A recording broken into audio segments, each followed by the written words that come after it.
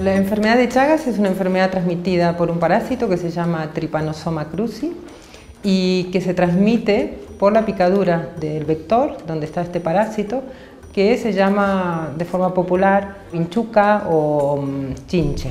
En México generalmente se le llama chinche besucona, tiene diferentes nombres.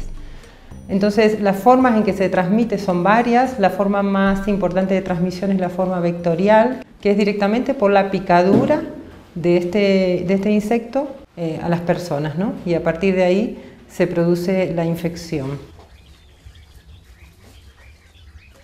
Bueno, nos citaron a todos para ir a sacar las muestras.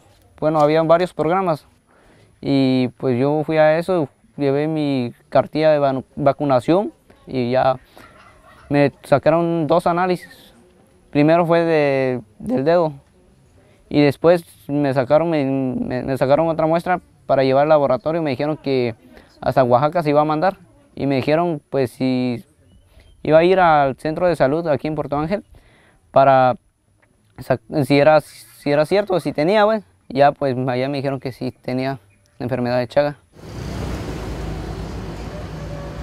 En América Latina se calcula, se estima que hay entre 7 y 8 millones de personas que están infectadas por la enfermedad y hay unos 100 millones de personas que están en riesgo. porque están en riesgo? Porque viven en zonas endémicas y porque pueden estar en contacto con la vinchuca y pueden contraer la enfermedad o porque hay mujeres en edad fértiles que están infectadas y pueden transmitir también la enfermedad a sus hijos, por ejemplo, entre otras causas. Y en el caso concreto de México, se calcula que hay más de un millón de infectados y hay unos 30 millones de personas en riesgo, ¿no? viviendo en áreas o en zonas endémicas de enfermedad de Chagas. Tengo miedo porque es mi hijo. Se va a morir y está jovencito. Eso es lo que yo pensé cuando primero escuché. Pero ya me está explicando que hay medicina, que hay este, cura, pues ya me siento yo más tranquilo y voy a luchar. La enfermedad de Chagas está dentro de los criterios operacionales o dentro de las decisiones o de las enfermedades que Médicos Sin Fronteras decide, decide tratar. Como enfermedad olvidada o enfermedad desatendida, es una de las enfermedades elegidas. Dentro de este contexto más amplio de trabajo, mm, Médicos Sin Fronteras empieza también a pensar en México porque es un país donde la enfermedad de Chagas también está desatendida y si bien hay un programa nacional de Chagas y hay actividades en marcha, eh, bueno, se, decidió también hacer un convenio con la Secretaría de Salud para implementar y para también ofrecer la experiencia que tiene Médicos Sin Fronteras en diagnóstico y tratamiento.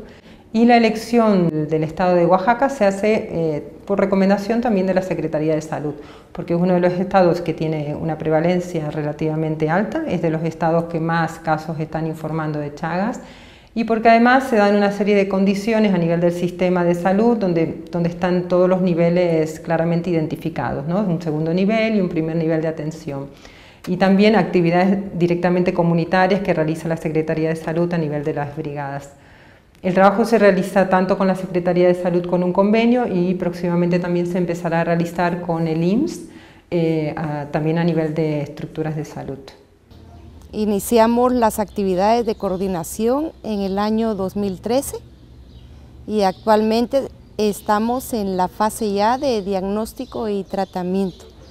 La, eh, eh, estrategia elegida con la contraparte ha sido un fortalecimiento en lo que es la formación del personal de salud, de las estructuras de salud involucradas. Hemos empezado con talleres de capacitación para médicos, enfermeras, técnicos de control vectorial, eh, próximamente con los promotores de salud.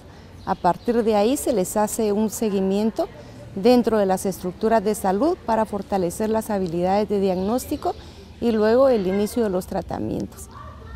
Es una enfermedad olvidada porque de alguna manera resume lo que es el ciclo del olvido, se llama, ¿no?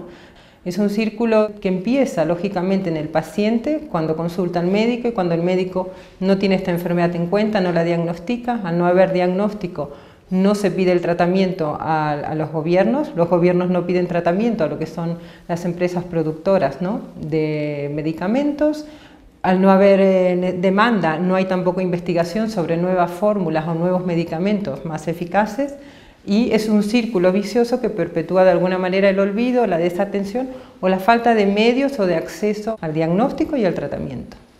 Pues sí, me habían comentado que me iban unos tratamientos de 62 días para, eh, para, para sanar todo eso, hoy mismo. Hoy iban a venir y ya me iban a llevar allá con el centro de salud. Iba a ir por semana a recibir mi tratamiento. Allá la doctora me va a estar checando cada semana para que cómo va el proceso del tratamiento. Y otro de los objetivos importantes es eh, dejar una especie de modelo para que esto pueda ser replicado en otros estados o en otros municipios.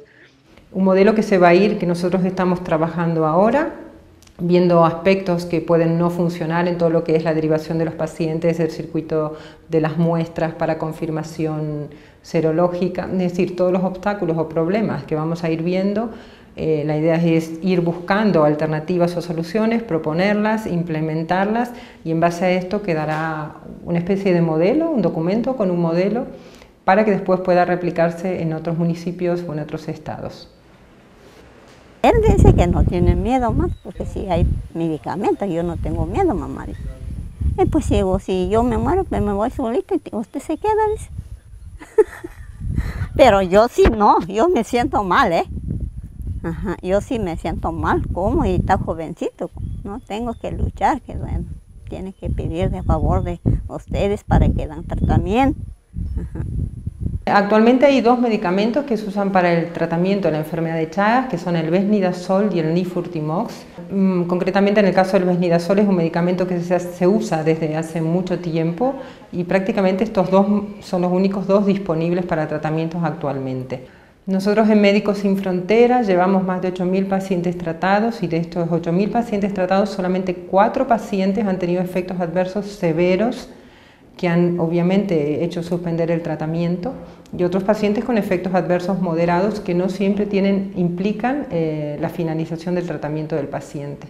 Entonces, de alguna manera, Médicos Sin Fronteras en todos estos años, más de 15 años de diagnóstico y tratamiento de enfermedad de Chagas y más de 8.000 pacientes tratados, ha demostrado que se puede tratar con Besnidazol, que los efectos adversos pueden controlarse con un seguimiento continuo del paciente para detectar estos efectos adversos, para suspender el tratamiento si hace falta y para poder reiniciarlo. Una suspensión momentánea del tratamiento no implica que el paciente no pueda luego continuarlo o incluso hacer un cambio de Besnidazol a Nifurtimox si es necesario. Por el momento me siento bien, no tengo nada. Pues quiero mi tratamiento para que salgo adelante para seguir estudiando.